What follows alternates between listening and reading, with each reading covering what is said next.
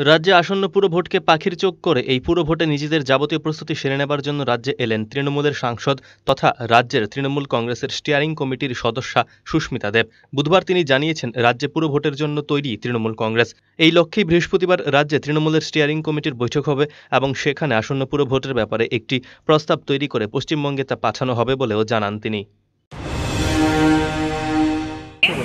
और एक महीने के अंदर म्यूनिसिपल इलेक्शंस है इसकी तैयारी हम कर रहे हैं और यहाँ पर भी ग्राउंड पे करने के लिए हमको कांग्रेस की ज़रूरत है और हम म्यूनिसिपल इलेक्शन डट के लड़ेंगे। सब सब असम में प्रार्थी देगा तृणमूल कांग्रेस देखिए अभी कल हमारी स्टीयरिंग कमेटी की मीटिंग है। हम एक प्रपोजल बना के कैलकाटा भेजेंगे Abhishek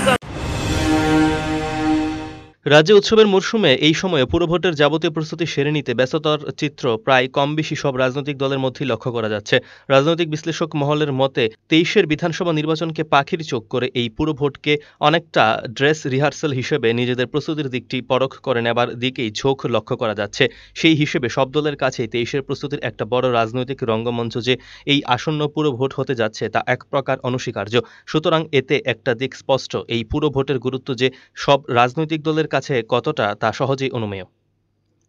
bureau report search India